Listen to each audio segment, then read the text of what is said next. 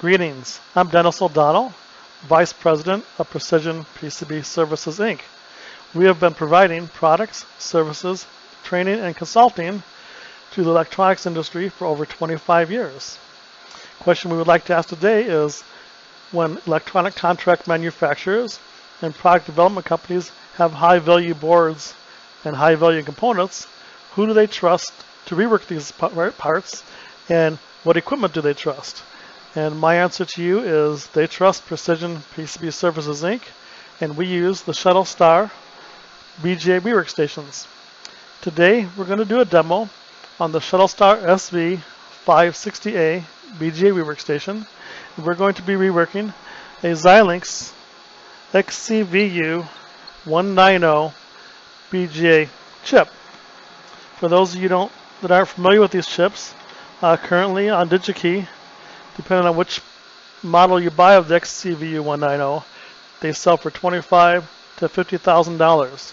So we're going to be working a chip today, which is in the 25 to $50,000 value range, and you don't want to trust these type of chips to just any company or any machine and risk the chance of having them damaged because that's a lot of money to be out if something should go wrong.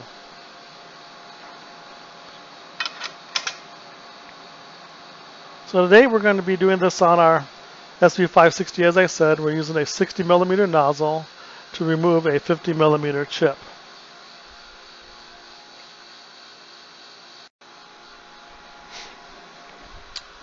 So to begin with, we're going to want to get an external thermocouple under the chip so that we can read our solder ball temperature.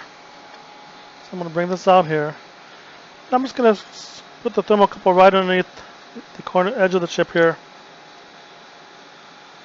in an area where we won't disturb anything.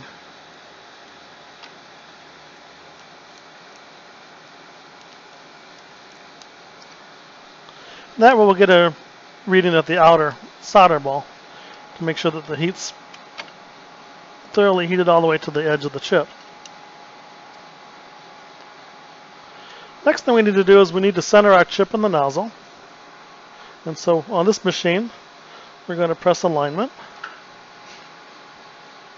And then that'll bring our camera system over the chip.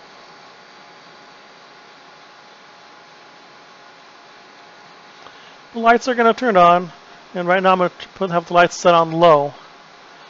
We can adjust the lights later for the, the uh, brightness that we want. And then I'm going to focus the chip in the screen.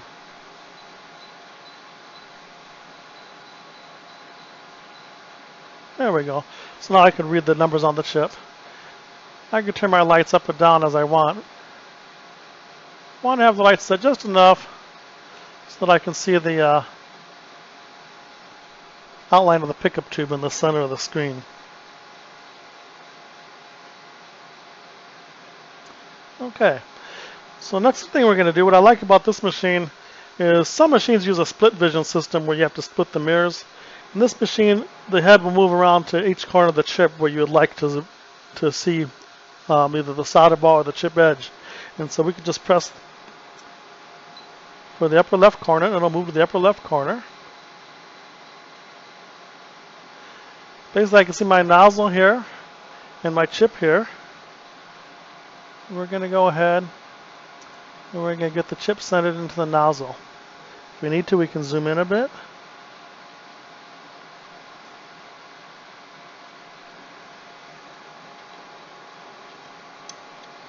We got, got to latch down our board so it's tight. I'm going to turn up the light a little bit more so I can see the nozzle better. There we go. So our nozzle is in a blue light and our chip is using the gold light. We'll straighten that nozzle out a bit.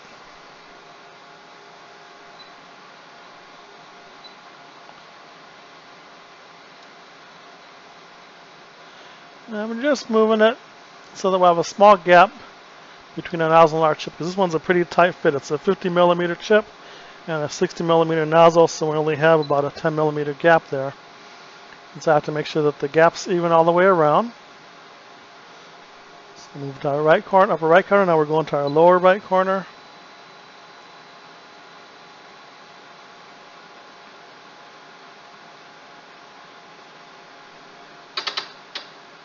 And then we're going to go to our, lower left corner.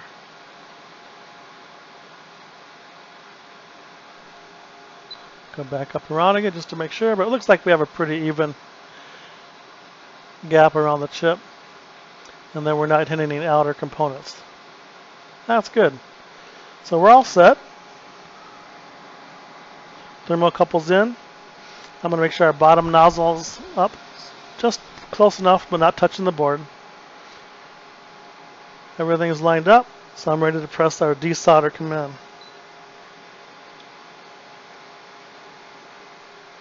Now the uh, nozzle will go back down, the pickup tube will touch the chip, and then it'll back up about, I have it set to back up 3 millimeters, so you're going to go down and touch it. Once it senses the chip's height, it's going to back up 3 millimeters, and now we'll start the profile that we have for this one.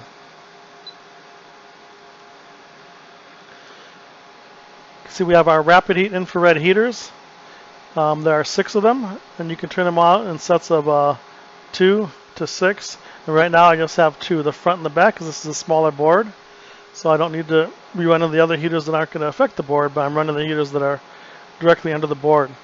Uh, by having the infrared area heaters, this will preheat our board and allow us to, to not have to use as high a temperature on the direct heat. So basically on this machine we have upper hot air, lower hot air to focus on the chip area, and then we have an infrared area heater that preheats the board around the chip, or basically preheats the overall board.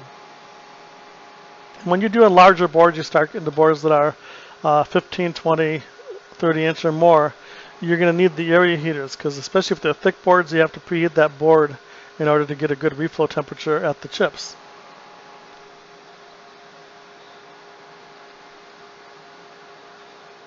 So right now I'm just monitoring um, the temperatures and this is going to be about a six to seven minute profile. Uh, this is a new machine so it's the first time I'm doing this chip on this machine so it's the first time we're setting up this profile. Um, I have a peak reflow I have a, actually I have a five zone profile um, and we're going to try and bring this uh, solder ball temperature up to about uh, 250 C at the solder ball to make sure that there's a good reflow. And so I'm going to monitor my profile in case I need to readjust it um, at the end to make sure we can save it and then re repeat the uh, the rework on, on, on the same type of boards and same type of chips. Okay, so we're getting about 236 at the solder ball, and I'm just going to put a probe in here and see if this chip, the chip is loose. That's great. Um, and so we're reflowing at about 240. Sometimes it takes to 250 with these boards because there's a lot of copper. Um, I'm going to note what my current temperatures are. Uh, it looks pretty good. So I'm going to stop it, and it's going to automatically pick up the chip when I tell it to stop. Be prepared here. Beautiful. Got a little bit of smoke because we did put some flux under the chip before we started because if you put flux under the chip it'll allow the solder to release more smoothly so that it's easier to clean up. Also helps transfer the heat better. So I picked up the chip, set it in the upper nest, and now the cooling fans go on. So we, what happens is the upper and lower heaters will kick into high speed, and they'll start cooling the upper and lower heaters. We have fans on the edge of the um, area heaters here. So the area heaters have four fans. It'll start cooling the infrared area heaters. And then we have one large fan here that blows across the whole machine and cools down the board.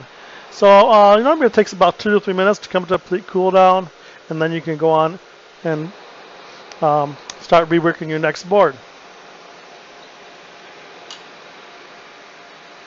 We'll let this cool down for a second, and I'll show you what the board looks like.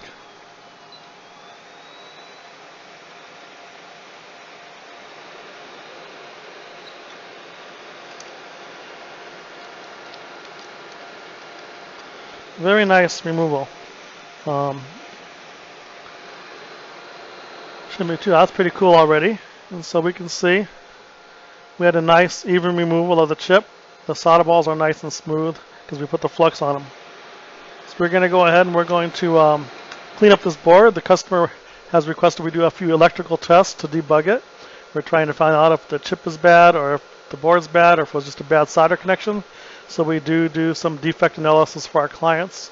Uh, once we're um, assured that everything's testing not okay, we're going to reball the chip and put it back on. Because sometimes it's just the solder connection, didn't make a good connection, and if we reball it and reinstall it, um, then it works. And again, we did not install this chip. This chip was installed by a different company because when we install the chips, they normally work 100% of the time unless there's a defect on the board of the chip. But our process is pretty much a zero defect process that we've developed.